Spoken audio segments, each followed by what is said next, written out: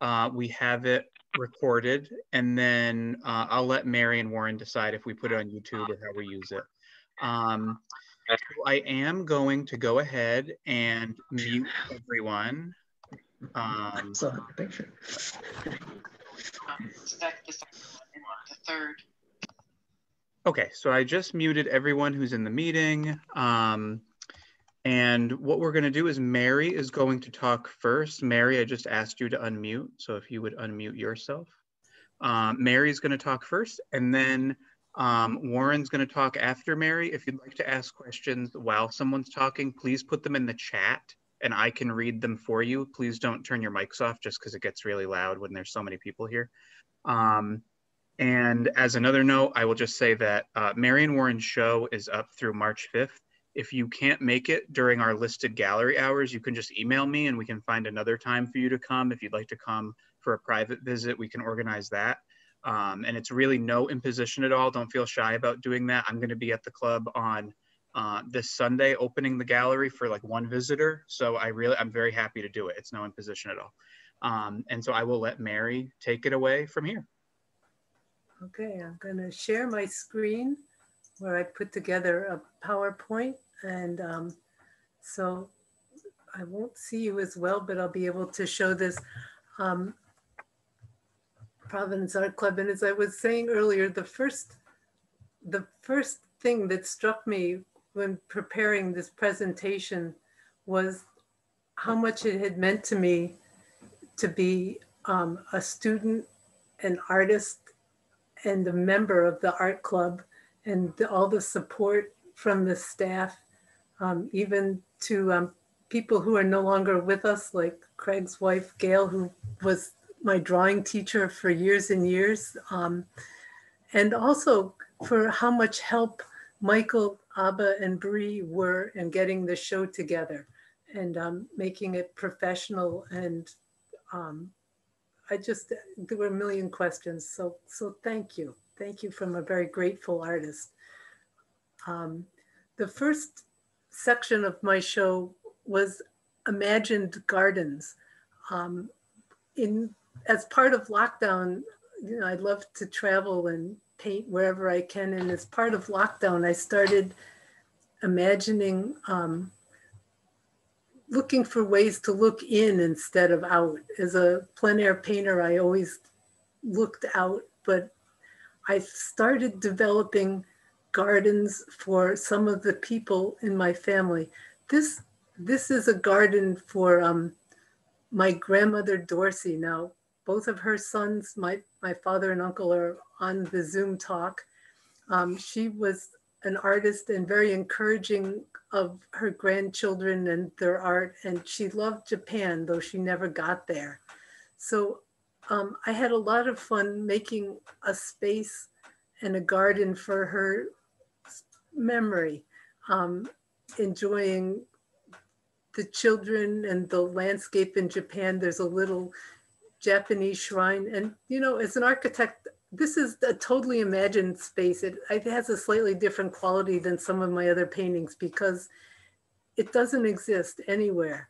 Um, I, I put the pieces together um, from shrines in Kyoto to riverbanks and distant towns and, and the Koinobori flags.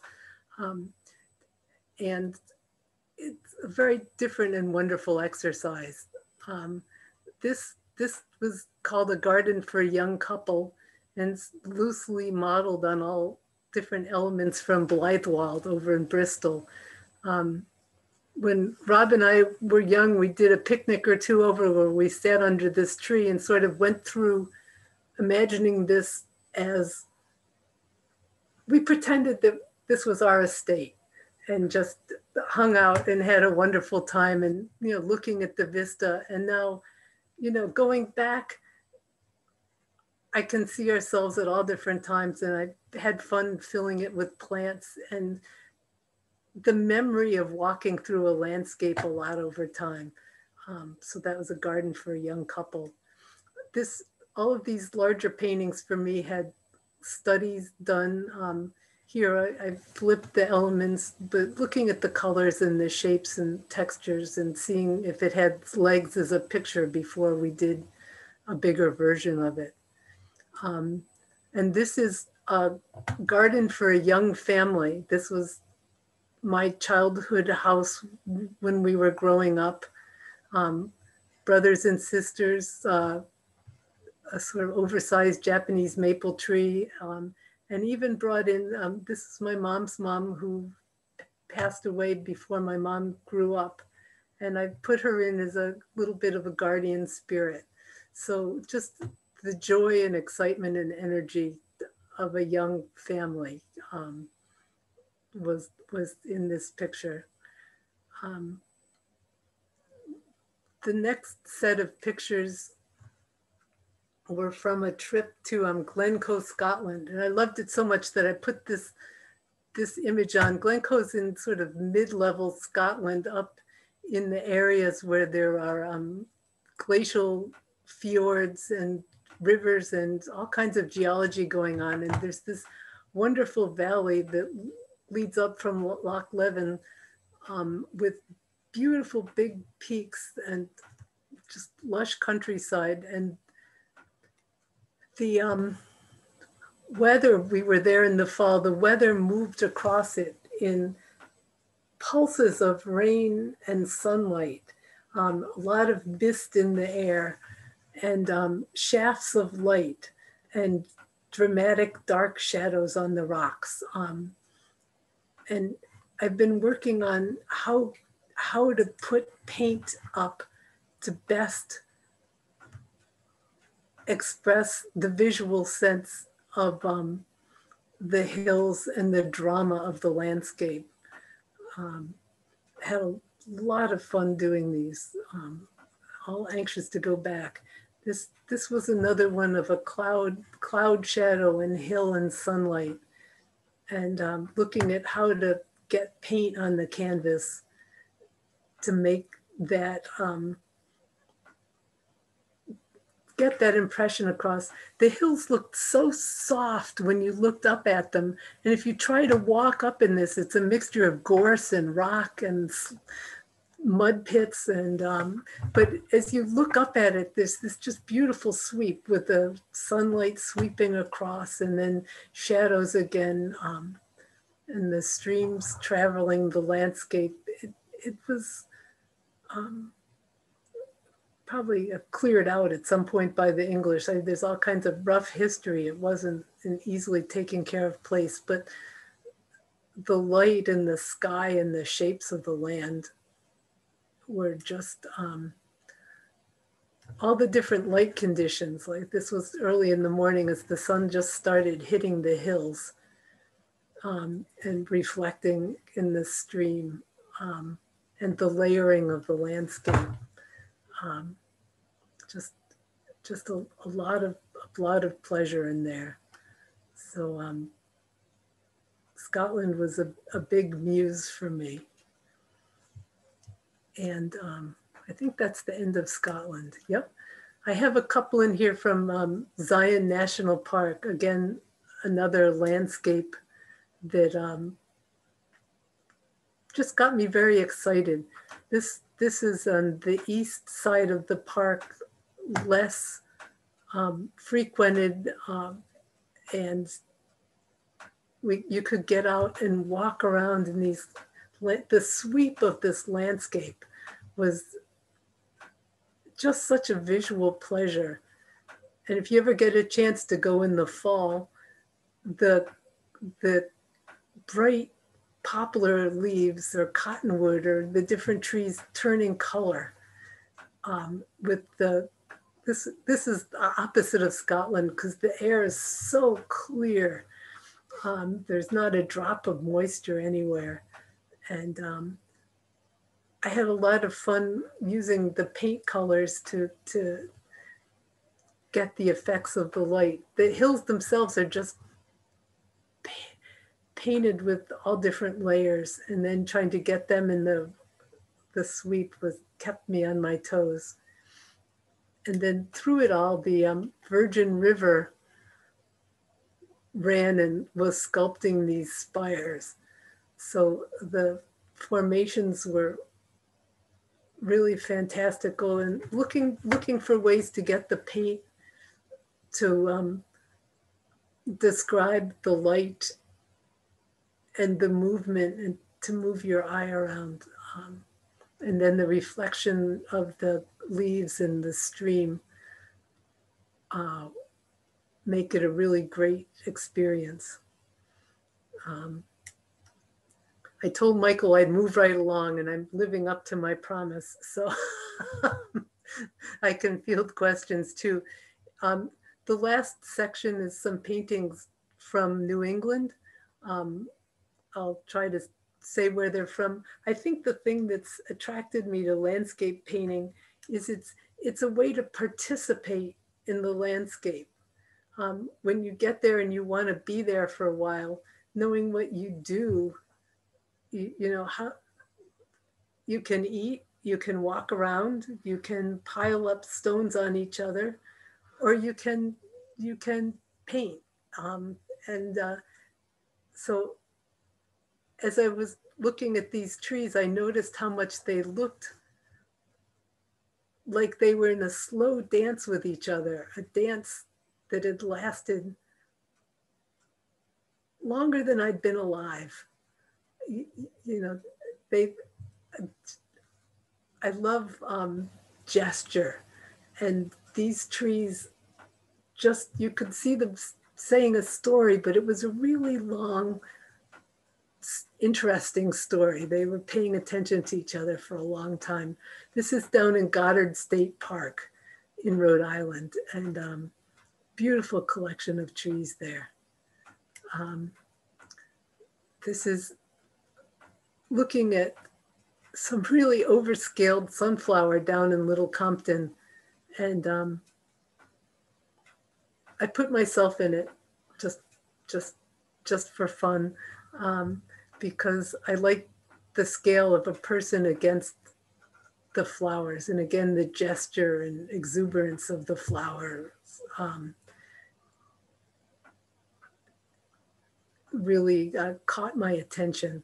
Also, the shadow. Um, a lot of times, the shadows are a really fun part of landscape painting for me. When you're trying to get the effect of the light as it's changing at the end of the day, or the trees are backlit um, it really uh, adds a lot of life to the painting. Um, this was up in Vermont um, on a summer morning, trying to get out early. And uh, again, I love trees. A lot of my paintings have trees in them. And I've been trying to learn how to express the character and the um, interest of each individual tree. So not as a not as a symbol of a tree, but looking at actually what the tree is. Um, these are a couple from up in Maine. Um, again, hiking around looking for a composition. And both of these were on foggy days. A few places I showed up in in Maine, um, I could see that there was a scene there I wanted to paint, but there was so much fog that it was impossible to actually paint anything. These, these New England paintings are uh, plein air paintings with some studio work afterwards. So um, I don't I don't do it all in one go. I tend to see more when I come back. Out in the field, the weather's changing. Uh, the bus pulls in, the boat pulls out, the um, tide changes. Um, so I'd love to be able to come back to the studio and just um, give them a one more go by. Um, and this is the final slide of um, seeing sun through the trees as it's rising up in Vermont. Or again, beautiful tree on this was a big coastal swamp plain, floodplain. And then there were a few rock outcroppings that were in the middle of this long plain with these really individual and beautiful trees. So um, that that's there's there are more paintings in the catalog. They're um, fun to see in person if you have a chance um, because the photography, well, fabulous is it's hard to catch the exact painting. Um, but I I appreciate your attention. Um, I've been really excited to do the show and um, thank you. Thank you, Mary. Um, I think I'll ask at least one question to start with. And then again, if anyone has any questions, just put them in the chat and I'll be happy to read them for you. Um, you talked a little bit about working plein air and then going into the studio. For the paintings that you did in Scotland, what was your process for those? Did you do watercolors while you were there or did you bring back photos? I did watercolors and some sketches and then brought back photos to work from them. Someday I'm going to just buy paints in Scotland and leave them there. If you can't fly with them, I'm just going to load up and buy the paints and donate them to a worthy artist because um, it's so hard to get the light right. Um, photos are great, but being there is, is a joy. It's a great struggle. I think I think that's the most fun thing for me is even though it's hard, it's it's such a pleasure to try. Um, I think a lot of people play golf that way. They don't always play a great game, but it's really fun to try going for it. You don't have a winner every day at all. Uh, what do you find to be the most challenging? Um, is it the atmosphere that's most challenging? Like for you as an architect, you must not have as much trouble with like building up forms, right? It's probably more about color and stuff like that. Well, when you when you're on site, you're you're looking for the picture, and I found it was, you know, as a younger painter, I thought there was not much to paint around my house, and um, during COVID, I had to really look at it again it's it's composing the picture in your mind and pulling out the stuff that doesn't need to be there. Um, like Dora taught me about putting the structure, the value structure in first, just the darks and lights to make sure you've got, if you've got the values right, you've got a strong painting. If you don't have the values right, you can work and work and work at that painting, but you're, it's an uphill struggle. So but I think it's you're, there's so much when you're there. You've got the excitement of the scene and your vision, and it's a stretch, and you've got your drawing and your values and your comp. You know, it's you really got to go for it. And sometimes, you know, it's I have a boxes of paintings that it didn't work for, but they keep moving along. I keep learning, um, and it keeps being somewhere between exciting, terrifying, and a lot of fun. So. do, do you find that doing like a like a sketch in advance is a good way to figure out your composition? To use like a viewfinder anything like that, or how do you come about your composition? I, a lot. I'll do a viewfinder. As a young painter, I kept trying to stuff horizontal things, and I'd end up with odd paintings. So the viewfinder helped me to get. Uh, and I like painting on a longer canvas to get to get the, the sweep of your eye. Um, but sometimes I draw or do a quick, um, just a little value two inch sketch, but a lot I work on the value study alla prima, you know, with a thinned out mixture of black and white just to get the value structure right. You know, if um, that's I just find that I'm not satisfied with my pictures when I don't get the values right. So that's my current investigation. And then when you move on to the when you move on to the canvas, do you ever draw on the canvas, or do you are you like painting right away? You're always paint, painting right. I'm you know I start the oil oil painting, which is the only medium I do, is very sculptural, um, and I don't want to, I'm not filling in lines. I'm, I'm creating the form um, and the shape and the composition of the picture.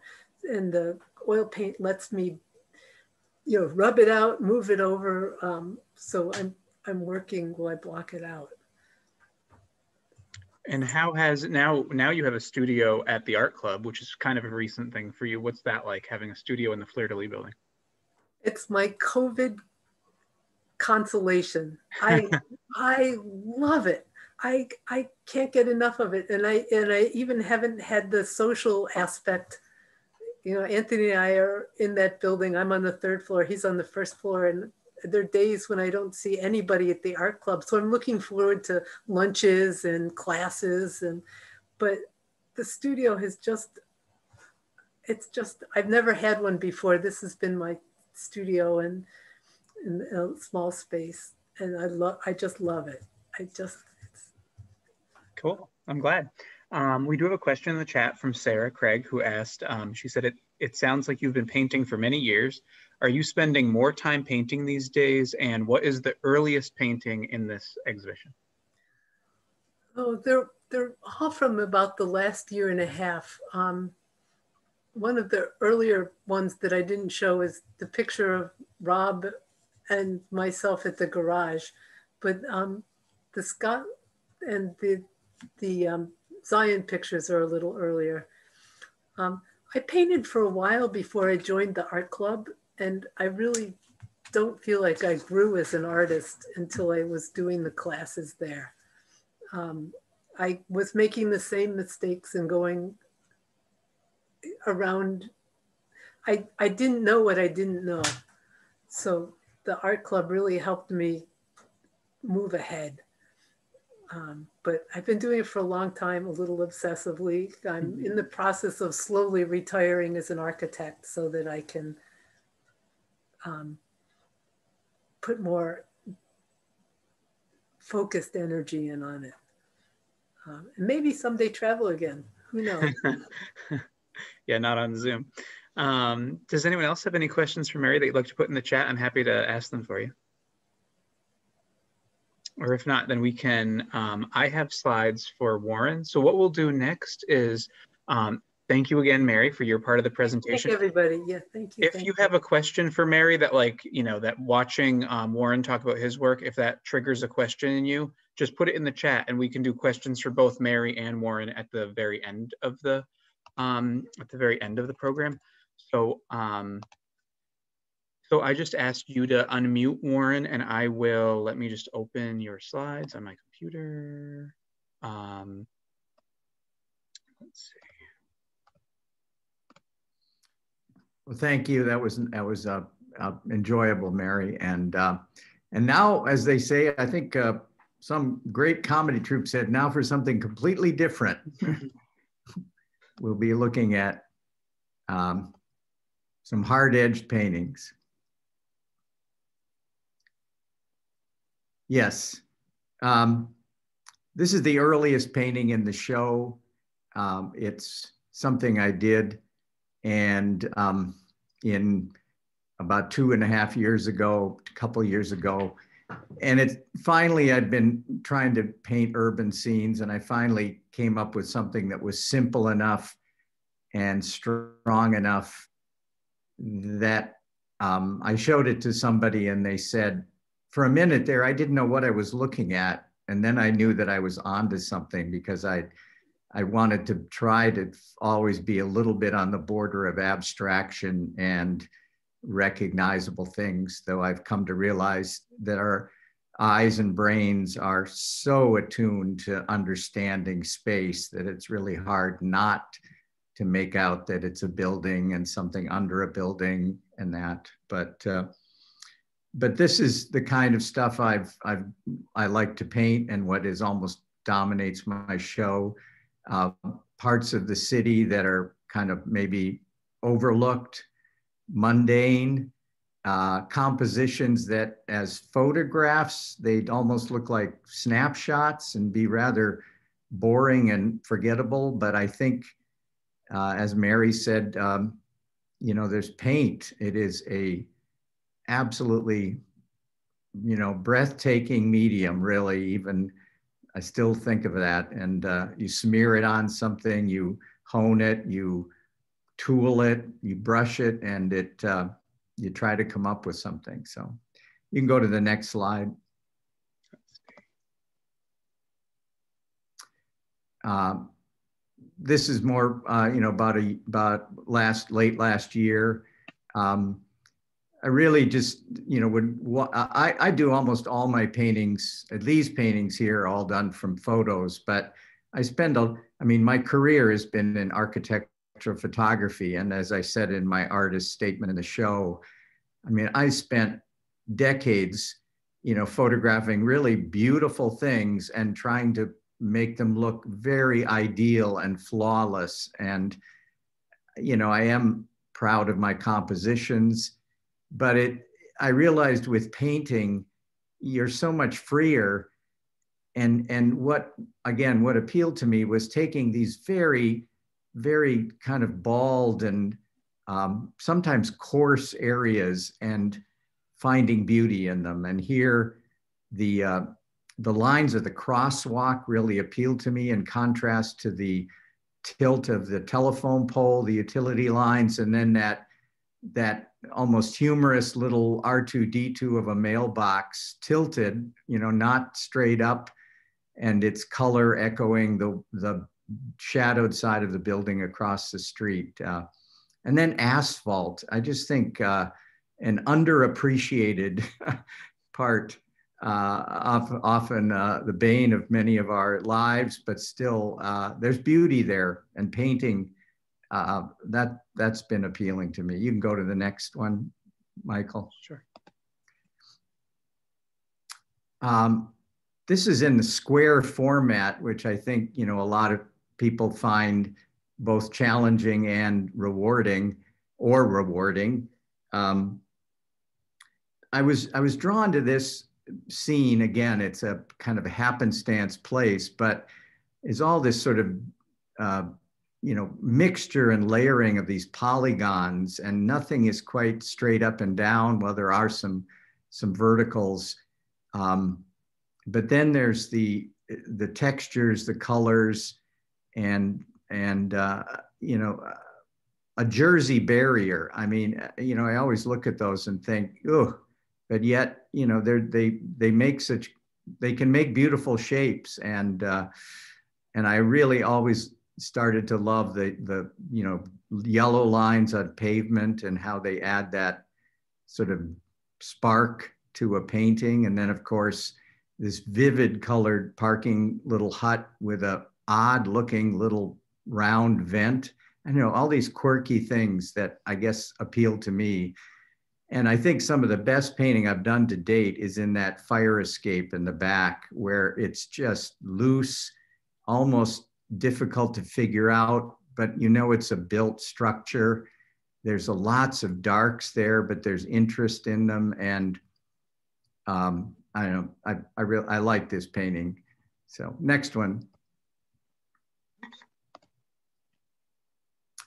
Uh, this ended up in a, a little larger size and um, you know, a, uh, you know, a lot of painters obviously would, you know, and search out the en- either end of a day, and this is very, very late in the afternoon in the uh, um, early spring, uh, leaf still leafless trees in the distance, but again, I don't know, the asphalt here was just so appealing, and these long, long shadows, and how, you know, between a combination of a of sort of lightly applied paint, rubbed out with a rag, redone with a brush, scraped off, put back, um, and then you know the the the you know depth and and cars. I mean, I, I know I can't tell you how many times in photography I've had to retouch out cars or you know actually get somebody to move a car because it was intruding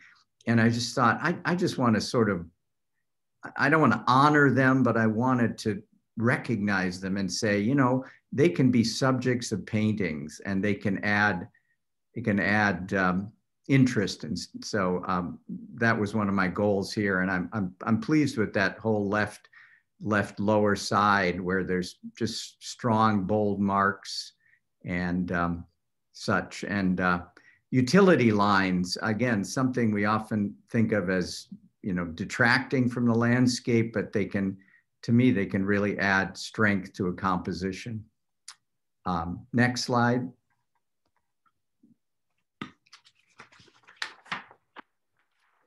Um, one of the things from that first painting I showed that um, I realized is I, you know, when I frame up these photos or uh, see them and then think about the edges, is how, you know, everything is a shape. Um, often it's in our classes and are the artists. It's like you're not painting something, you're painting the shapes. And here I was so uh, uh, just enamored of that blue thing up in the top, which is a sky, but that little arrow that's that's between the buildings, and then those notches that kind of wander around all the corners of the painting and the center, and then real darks where there's um, there's still shapes within darks, but then that the other layer is texture and variation within that, and um, you know, some hard, strong, clean edges and then some looser things. And then, you know, orange, one of my favorite colors and a brilliant, uh, that juxtaposition of orange and blue. I don't I figure like, try it, see, you know, go for it. Thank you. Uh, next one. Um, this is probably the most recent painting. Uh, it's about 18 by 24 and it's looser someplace I want to move a little bit toward. And it's fast. And um, this is where I really want to give credit to Sam Green because this was done in his class. And I don't know if there's some prohibition against showing this in a show, but you know, he he uh, we this was done in about two hours or maybe an hour and three quarters, and then 15 or 20 minutes of a little touch up after some drying, and um, the speed is just so helpful to to to to refrain from over over detailing and over painting and overworking and to stay with one's uh, first grasp of something and the strength of something. So um, um, I don't know, this is where I'm moving, I hope to go, but we'll wander around like all painters do. And I think the next one is the uh, last one. Yes, and away from the city for a minute, uh, I was you know, realizing that, okay, I'd been finding a way to make marks and a way to use lines and a way to work with tools. And I thought I'd try them on some landscape. And this was a little snapshot from a hike up in New Hampshire around a marsh uh, with some late sun.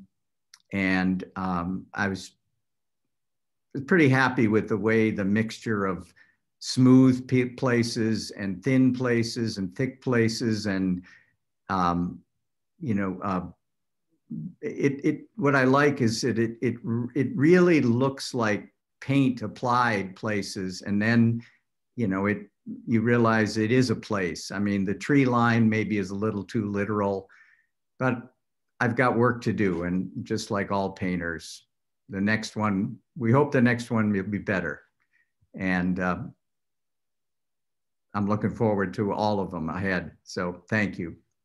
And, and I welcome your questions. Thank you, Warren. That was great. Um, let's see. So I do have a question in the chat, which is what is the thought process you go through to decide the size of the canvas you choose for each subject?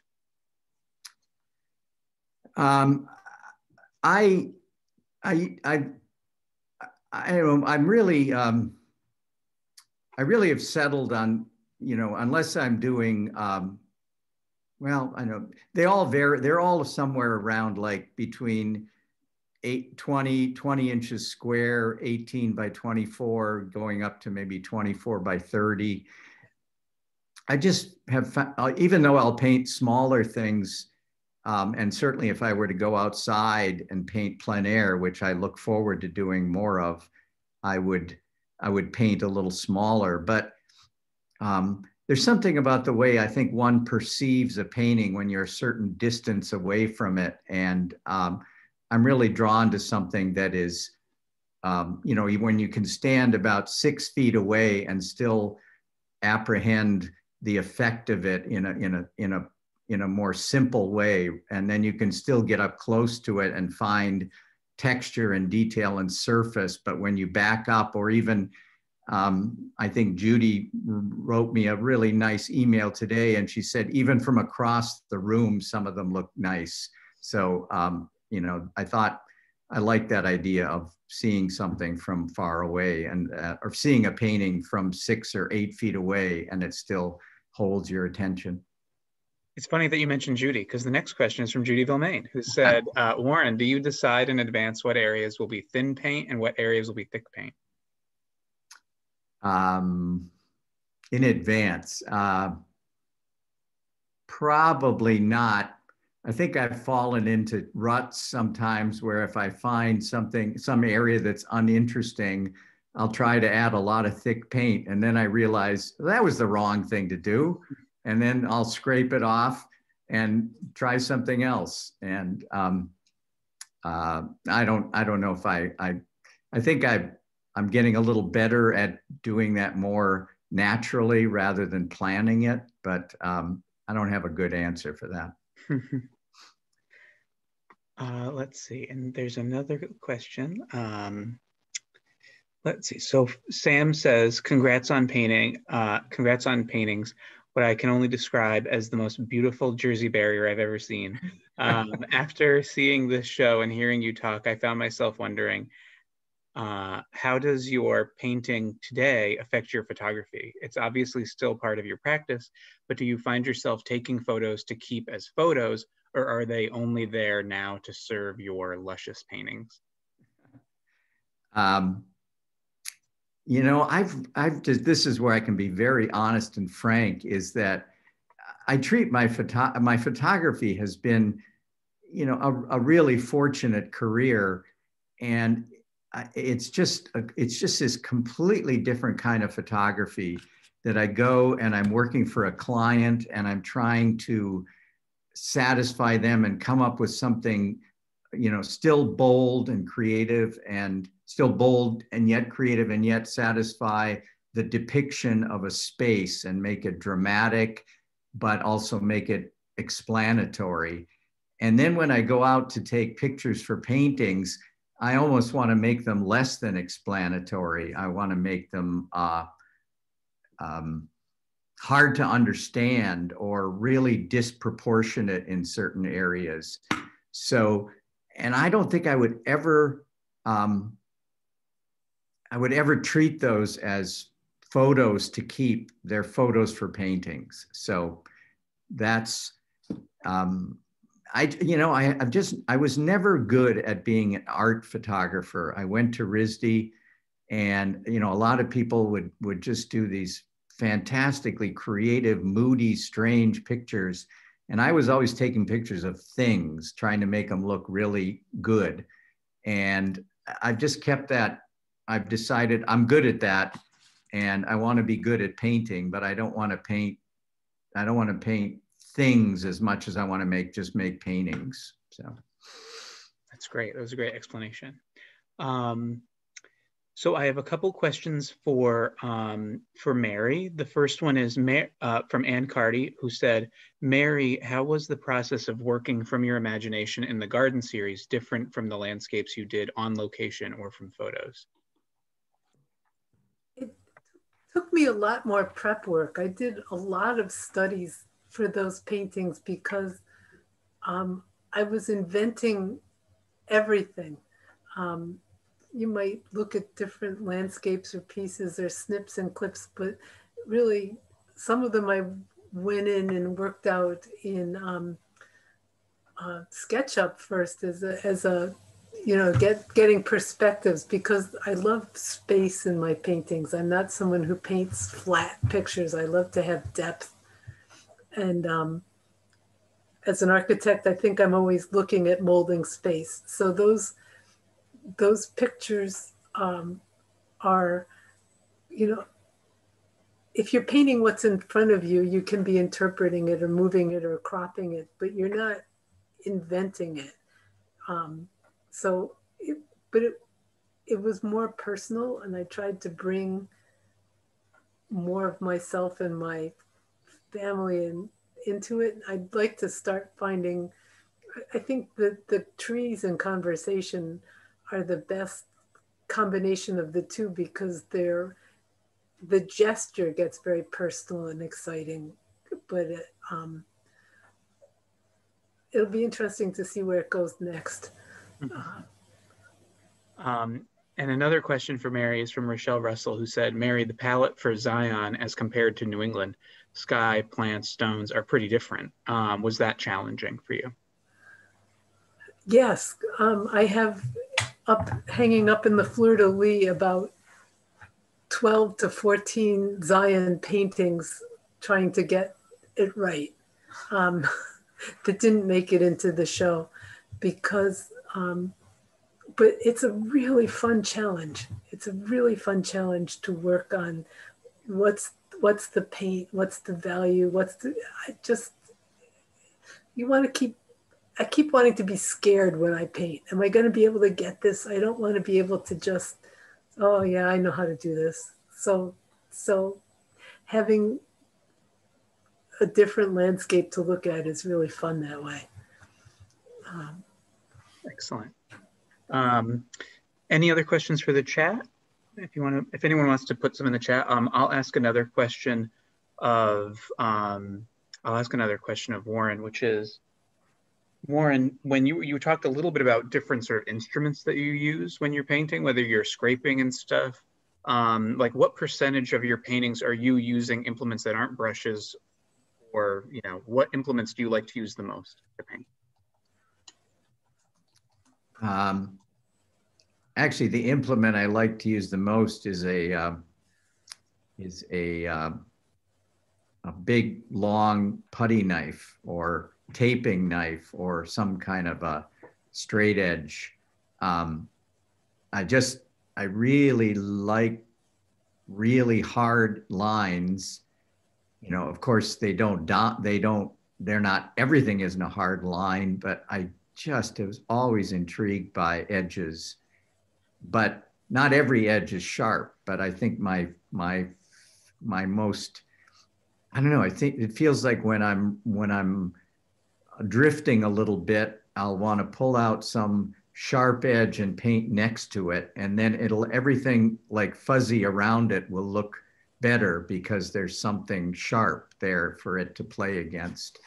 Um, other than that, yeah, um, uh, for a while I was really heavily using some palette knives and I've gone and I had trouble with brushes. And then I found maybe stupidly that you know those uh, this is getting really in the weeds but that uh, like natural bristle brushes look work better with oil paint than the synthetic brushes and again it's like all of a sudden it's like oh they're easier to work with so maybe i'll try these for a while and um, and rags. I mean I, I i really like rubbing stuff you know painting it and then rubbing it off and and then it, it, using your fingers uh, and even sometimes i confess just the glove on my hand um, you know does does magic sometimes and uh, okay that's enough. Oh that was great. Thank you. Um, i have another question for warren from ann carty who said um,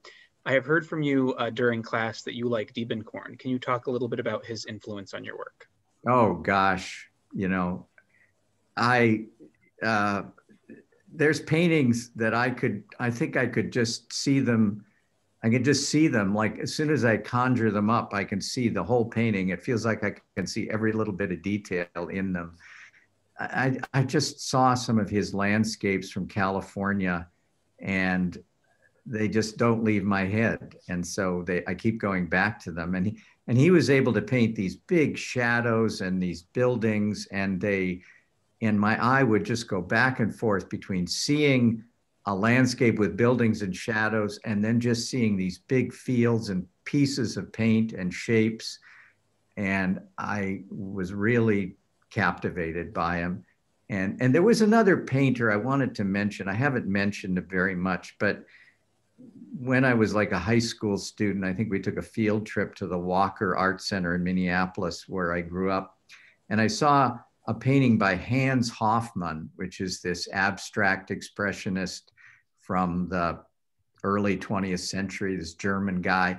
And I think he had like two yellow rectangles that were perfectly, you know, I mean, they were kind of square edge things, just kind of slightly offset with some other blocks of color in the background and I thought about, you know, how s- simple that was, and that I couldn't take my eyes off it as a painting. And I guess it's just, you know, my life of photography has been in rectangles, and but that one might have set me go set me on the course. I don't know. So he he did it, but Diebenkorn, you know, the, and I'll go back to him and look through the book and his series of, you know, so he he started out, I think, doing some well he's i don't know where exactly started but there was a big phase of real abstract uh, snaky looking paintings that were all mush, mushed up and stuff. And then he went to these actual landscapes which i think are really his finest stuff. And then he went back and combined i think the the lines and space of a landscape with big fields of color and his the series is called Ocean Park, and they're just breathtaking. But another thing, somebody asked me about size.